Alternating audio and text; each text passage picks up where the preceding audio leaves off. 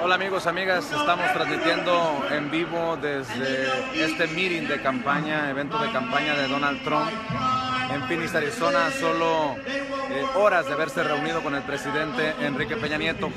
Le apuesta el miedo Donald Trump, habla de la inmigración indocumentada y le dice a sus seguidores que o votan por él o lo peor está por venir con Hillary Clinton en torno a inmigración. Asegura, a solo horas de estar frente a frente con el presidente de México, Enrique Peña Nieto, que el muro en la frontera lo pagará México.